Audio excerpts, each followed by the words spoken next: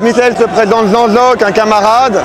Puis Landlock se présente Michel Cournot, qui est critique, cinéaste, qui a réalisé un film qui s'appelle Les Gauloises Bleues, qui du reste est sélectionné à Cannes. Oui, bon, ça. Le, festival de Cannes Oui, mais. Euh, c'est ridicule. Hein qui s'intéresse à Cannes, là c'est... Faut être complètement con pour aller à Cannes cette année, avec tout ce qui se passe en ce moment. Non, ça c'est comique ça. C'est vrai que c'est pas faux. hein.